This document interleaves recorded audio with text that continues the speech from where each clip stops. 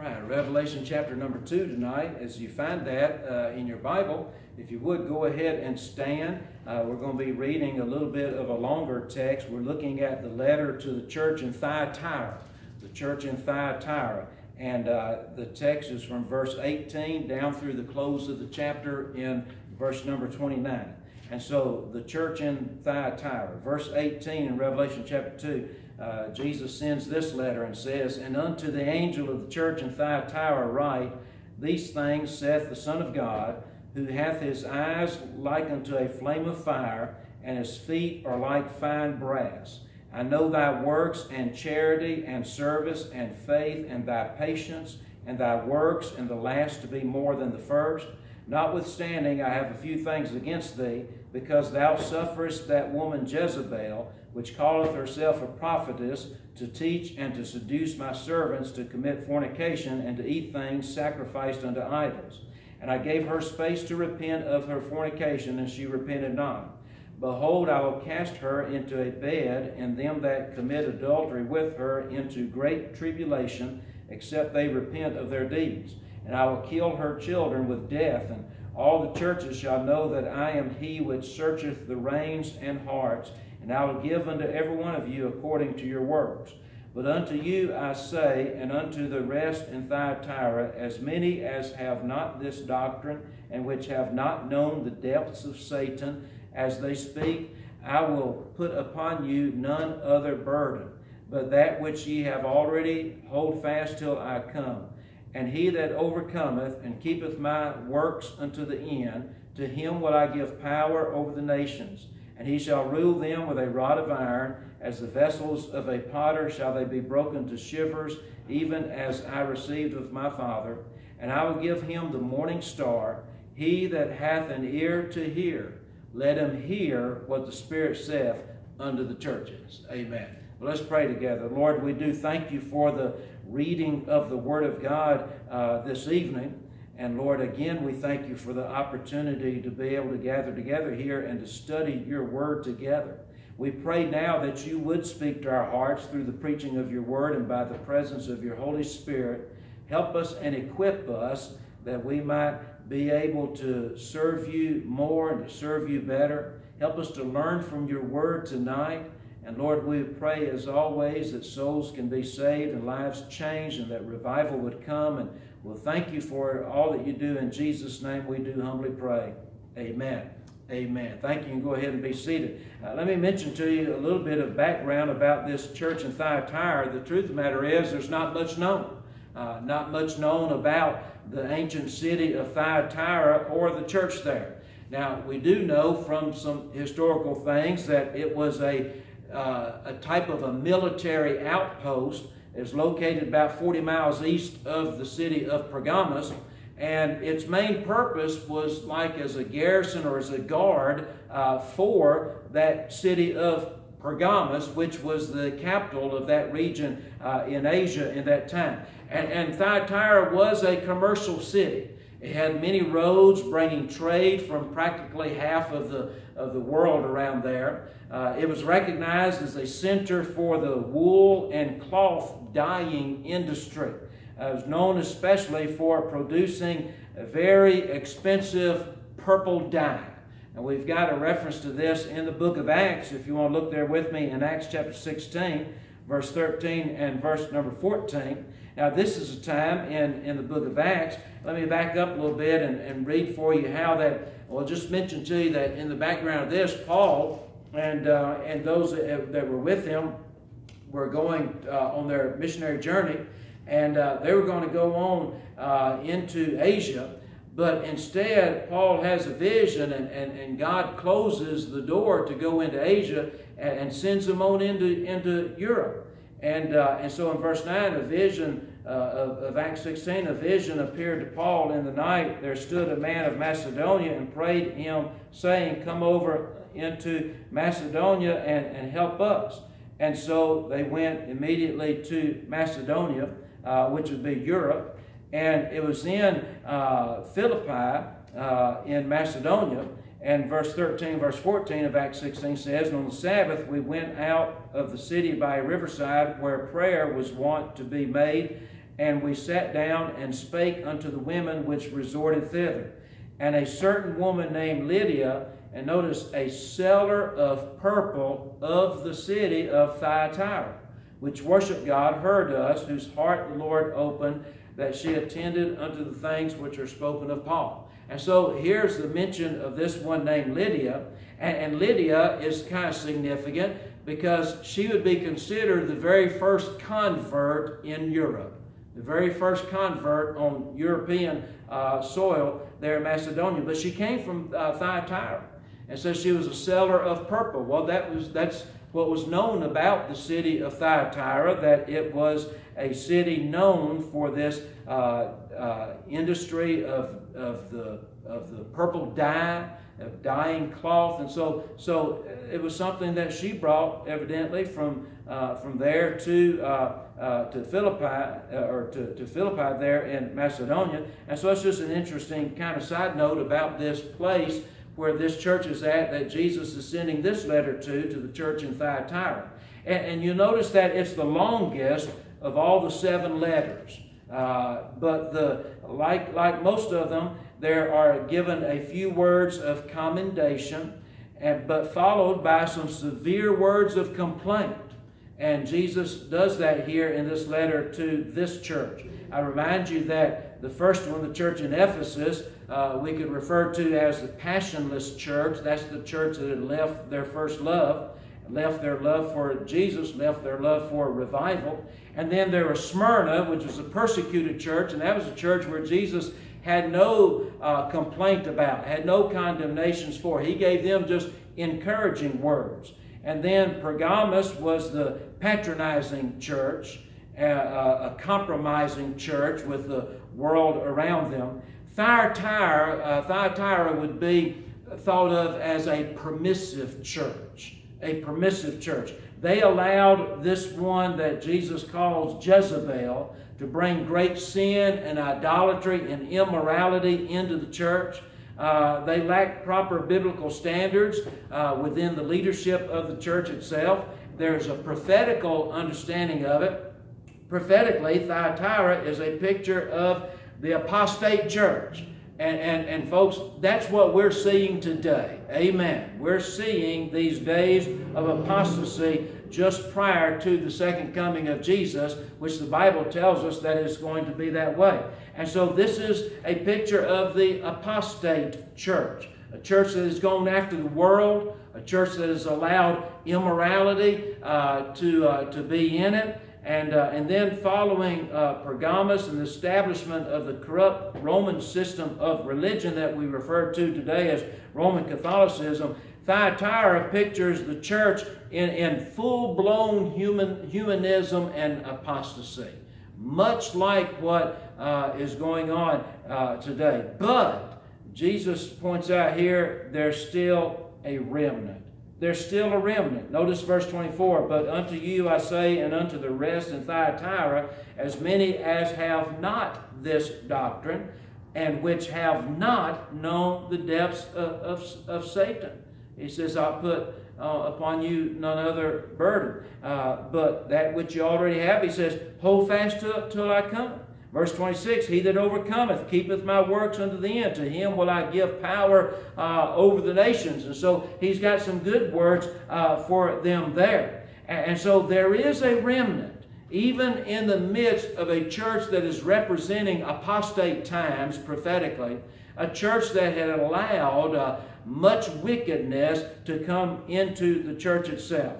And so notice what really the Lord Jesus gives to uh, what we call the remnant of believers. In verse number 18, there actually is a very wonderful picture or portrait of the Savior, a wonderful portrait of the Savior. He said, And unto the angel of the church of Thyatira write, These things saith the Son of God, who hath eyes like unto a flame of fire, and his feet are like fine brass. This is a picture of our Savior, the Lord Jesus Christ. And it's really quite wonderful to see. And there's a couple of uh, very special things that, that can we can uh, apply from this. First of all, you'll notice how that he announces his deity because he introduces himself to this church as the Son of God.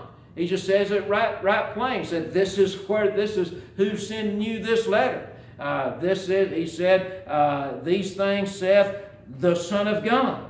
And so, right from the start at this letter, uh, when, when the people uh, of the church in Thyatira would have received it, right from the beginning, they could understand that they were not dealing with a prophet like Isaiah or with a preacher uh, like the Apostle Paul, but instead the recipients of this letter were dealing with deity. Jesus said that what this letter is coming from the Son of God the very Son of God Himself, a message directly from the divine Son of God.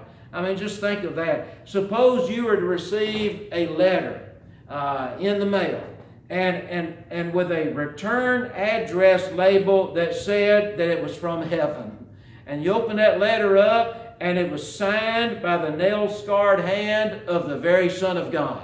That's really something like uh, what these people have gotten here at this church in Thyatira. And we would think, well, what a, what a wonderful thing that would be. But the truth of the matter is, folks, we have such a letter already. Amen. We have such a letter, as the Bible tells us in 2 Timothy chapter 3, verse 16, all scripture is given by inspiration of God and is profitable for doctrine, for reproof, for correction, for instruction in righteousness. This is that letter. I'm holding it in my hand. And I'm talking from Genesis to Revelation all the way through. This book has come from God, you see. This is the Word of God itself. Uh, this is a, a letter to us from the very Son of God. And, uh, and this book, by the way, announces the deity of Jesus Christ, that Jesus is the Son of God that he is God in the flesh, uh, that he did come to this earth and die on the old rugged cross, paid the penalty for my sins and for your sins, and he is coming back. And then, on top of all that, he actually is God. Amen. It describes and declares his deity. And then it describes his ability, or he describes his ability here in the letter. Uh, notice how he said, it shows us two things here in verse 18. First of all, his ability to see, where he said that these things saith the Son of God. Notice, who hath eyes like unto a flame of fire. He has eyes like a flame of fire. This tells us that he has intimate knowledge of all things. That as the Son of God, he is omniscient. Uh, he knows everything about us. His eyes penetrate into the innermost uh, beings of our, of, our, of our heart and of our soul. Uh, nothing is hid from Him. In Hebrews chapter 4 and verse number 13, the Bible says, Neither is there any creature that is not manifest in His sight, but all things are naked and open unto the eyes of Him uh, with whom we have to do. That's the Son of God. That's the Lord Jesus Christ. He has ability to see. He has eyes like unto a flame of fire. But then he also has ability to judge. Because it says here in his uh, portrait of himself in verse 18, These things saith the Son of God, who hath eyes like unto a flame of fire, and his feet are like fine brass. He has the ability to judge as well as the ability to see because here we see a symbol of judgment. Uh, brass uh, is a metal that is used in Scripture as a symbol of judgment.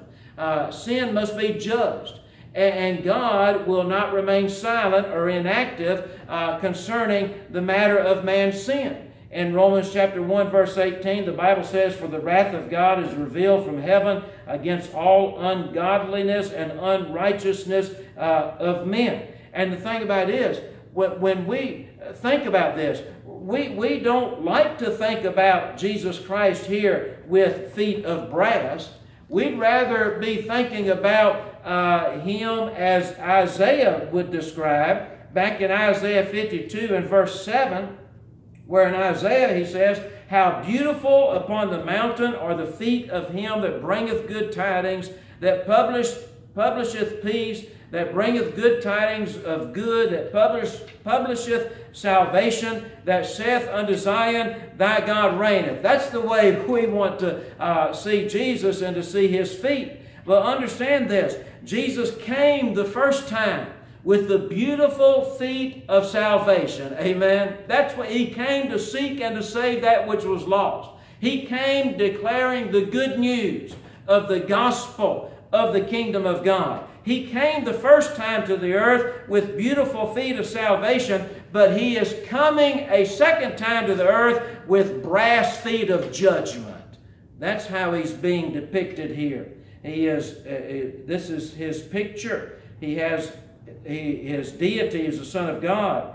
And then his ability, he can see. Nothing is hid from him. His ability, he is the judge, and he will judge the sins of, of this world. And so it's a wonderful portrait or a picture of the Savior. But then if you'll notice in verse number 19, he gives a word of praise for the saints. A word of praise for the saints. Now remember, what we're looking at here and thinking about, the church in Thyatira, they were the permissive church. And we're going to look into that uh, part of this letter a little bit deeper in our next uh, uh, message on Sunday evening uh, coming up this week. But for now, these are some words of, of commendation, encouragement, and so forth uh, for the saints, for the remnant.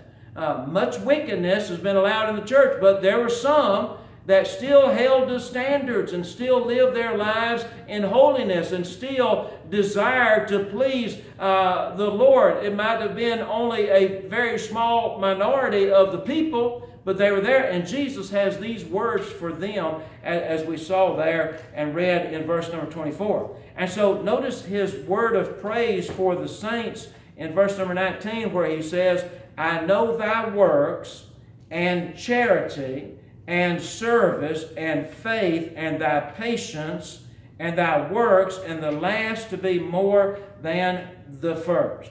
Notice uh, a couple of things that he says that he knows here. First of all, he, he knows the manifestation of their works. He says, I know their works. I, I see what you're doing. Now, understand something carefully.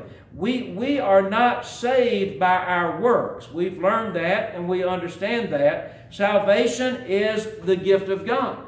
We cannot earn it and we cannot work for it and, and, and we sure don't deserve it. The truth of the matter is, none of us deserves to have heaven. None of us deserves to be saved. All of us are sinners, come short of the glory of God. What we deserve to get is punishment and death and hell uh, and the lake of fire. That's what we deserve. But um, salvation is a free gift of God. Uh, when a person is truly saved, uh, there must be a manifestation of good works.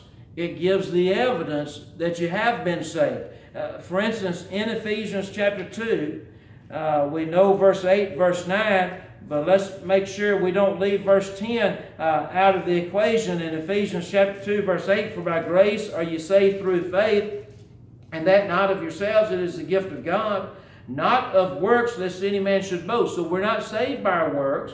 We're saved by faith in God's grace, and it's God's gift. But then verse 10 comes right on the heel and says, For we are his workmanship, created in Christ Jesus unto good works, which God hath before ordained that we should walk in them. And so the Bible teaches, notice, created in Christ Jesus. That, that's really a good way to understand that is that in your salvation, you've been recreated. 2 Corinthians 5.17, Therefore, if any man be in Christ, he is a new creature. Old things are passed away. Behold, all things are become new. So you are recreated. You're recreated in Christ Jesus.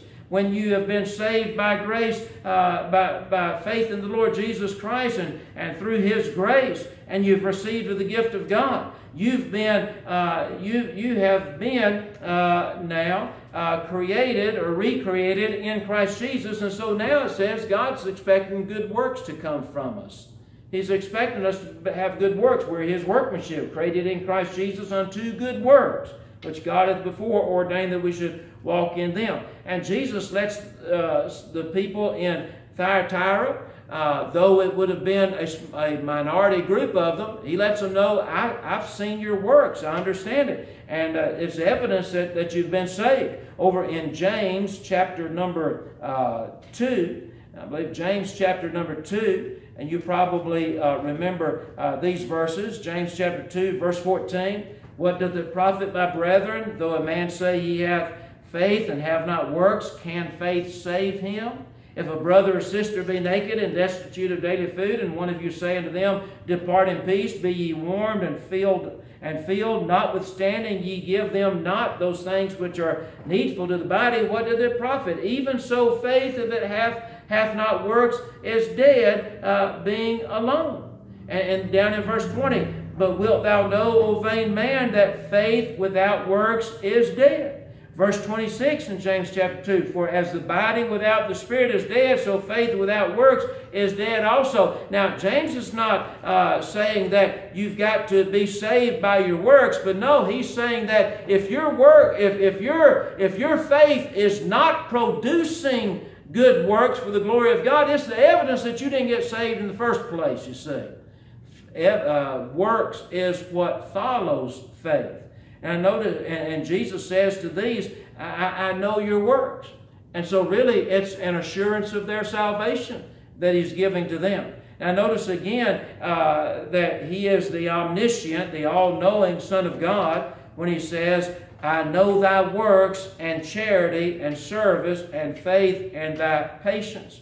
And so there's the manifestation of their works. But Jesus, remember, he, he uh, introduces himself as the Son of God, uh, who hath eyes, his eyes like unto a flame of fire. So his eyes are penetrating, like, like fire would penetrate. His eyes are penetrating. And so he sees not just the manifestation of their works, but he sees the motives behind their works. Not only seeing their works, but with these eyes of fire, he's able to see the motives behind their works. And he gives the motives here. First of all, he, he said, I know thy works and charity. Charity. And you can, you can interchange and you can use the word love there also. And, and so Jesus says, I see that. I see the motives behind your works. I see your charity. I see your love. And the Lord expects us to be the same way. He expects us to work but He expects us to work with the right motives. And that right motive is the motive of love. Uh, just as He says about Himself in John 15, verse 13, greater love hath no man than this, that a man lay down his life for his friends, and that's what Jesus did for us. In John chapter 13 and verse 34, you remember how he said to his disciples, A new commandment I give unto you, that ye love one another as I have loved you, that ye also love one another. And then he said in the next verse, By this shall all men know that ye are my disciples, if ye have love one to another. And so that charity and that love, that's the motive for their works. And Jesus, with his eyes of fire, he can see that. He saw their charity, he saw their service. The word service means ministry. And ministry is actually love or charity in action uh, that's been put to action. And so he sees that, their charity, their service, and he sees their faith. The word means faithfulness or loyalty. Uh, it means dependability. Uh, in Romans 10, verse 17, says, Faith cometh by hearing, and hearing by the word of God. You know what will really make us to be more dependable uh, for the Lord is, is when we really hold to the Word of God. Amen. When we really have the Word of God and we study. Uh, Jesus sees this and he saw their patience. Patience is a word for endurance, which means to abide with and to stick with the stuff.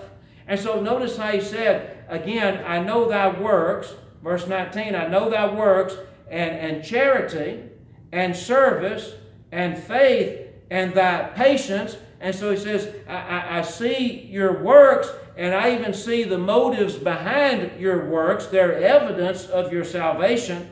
But, but then he mentions their works again, where he says, And thy works, and the last to be more than the first. The last to be more than the first. Now, this is important because they were motivated. Watch this. They were motivated by charity, by service, by faith, by patience, and because that's the way that they worked, and that was their, uh, their motives. Jesus says that their works at the last were even more than they were at the first. In other words, they, they, they would increase in their service of the Lord.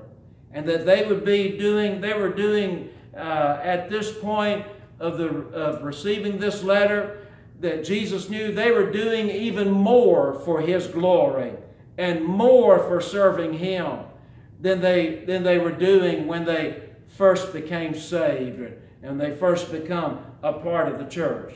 They were doing more. And so here's the question for us. Uh, how is it with us this evening?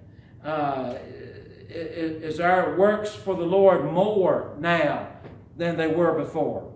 Are we progressing in the Christian life? You see, the Christian life was never meant to be stagnant. It has always been the Lord's expectation that we would grow, that as times go on, we would become more and more faithful to the things of the Lord. Just as the Bible says in 2 Peter chapter 3, verse 18, but grow in grace and in the knowledge of our Lord and Savior, Jesus Christ. And the wonderful thing is that God has given us what we need for such spiritual growth, such growth, growth in grace and the knowledge of our Savior, uh, such drawing closer and closer to Him the further along we go in the Christian life. He, God has given us all that we need according to 1 Peter chapter 2 verse 2 where he says as newborn babes desire the sincere milk of the word of God of the word that you may grow thereby. This is how we grow. This is what we grow by. It's by the reading, it's by the studying, it's by the preaching, it's by the understanding, it's by the receiving, it's by the application of the Bible, of the Word of God uh, to our lives. These are some things, these are things that Jesus is commending a, at least a small group of people uh, there in the church in Thyatira, even though much wickedness was around them, even infiltrating the church itself. There was, there was a remnant that stayed true and, and, and grew in, in spiritual things, grew in grace, grew in the knowledge of their Savior, the Lord Jesus. They grew in their knowledge of the Word and they loved the Word of God. And they were growing even more at, at the end of this time than they did at the beginning. Same thing needs to be said about us. And, and so here's the thought. Am I, am I, do I know more now about the Lord than I did when I first got saved? Am I, do I love Him more? Am, walk, am I walking closer to Him Am I, am I serving Him better than, than when I began this journey of the Christian life? The truth of the matter is, that's the way it should be for all of us. Sometimes it's not that way uh, for some. Sometimes we go up and down. Sometimes it's like three steps forward and two steps backward. But He's given us His Word to help us to keep going forward and to keep growing and to keep serving Him. And especially in these last days, when all the wickedness and all the trouble and all the things is going on around us, even more than ever, we need to uh, take heed to ourselves that we are growing in the things of the Lord in our service uh, and our knowledge and understanding of Him and His Word. Amen? Amen. We'll go ahead and stand together and we'll pray. Lord, we do thank you so much once again for the Word of God. And Lord, we do pray that you'd help us to grow. Help us to grow spiritually, Lord. Help us to grow closer to you. And Lord, we would pray that you would help our works to grow for you, that we would be doing more for you in, in, in the end than even at the beginning, that we would do more. And Lord, we thank you that you've given us your word to help us in those very things. We'll thank you and we'll praise you together. In Jesus' name we do pray.